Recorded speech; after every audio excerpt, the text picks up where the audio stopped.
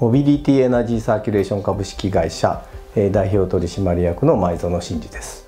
当社はトラックの排熱を利用してトラックを走る発電所にしようっていうことで事業を進めています。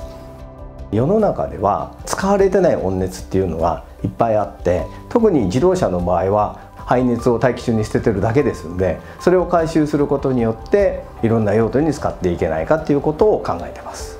あの今世の中にあるほとんどバイナリー発電っていうのは大型でですね蒸気で発電する発電が一般的です。ただ蒸気にするためには100度以上ないといけない。でそれに対して我々のバイナリー発電はですね小型でですね100度以下の温度で発電することができる。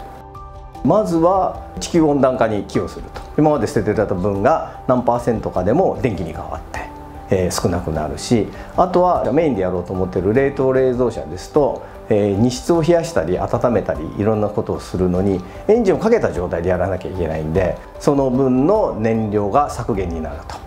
今九州の国立大学と小規模な温泉で有効に熱利用ができるかっていうプロジェクトを一生懸命やろうとしているところです。あとは、まあ、一部上場の大手の工場とか参拝工場排熱を使って発電するとか実証試験をやろうということに今なってます車載型は運送企業のトラックを借りて長距離走った場合にどれぐらい発電できるかの確認と大手コンビニのトラックでどれぐらい有効になるかっていうののテストをする予定に今なってます。えーと、今冷凍冷蔵車にバイナリーを積むっていう部分での特許は申請中ですもう現在でもあと2つ3つ最低でも出すものは今考えてありますしこれからも引き続き研究開発していく予定でいます。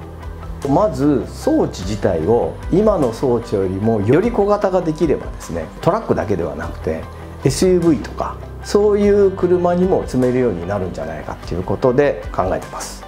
でプラス、えー、日本だけではなくて世界中例えば中国とかそういうところに、えー、販売していく方式を今考えてます。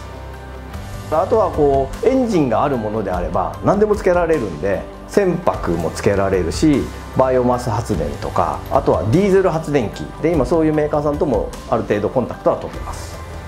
本当に今世の中で何百台何千台何万台で走ってるトラックが大気中に放出してるだけの熱を利用して世の中が豊かになっていけばいいなとそういう感じで考えてます。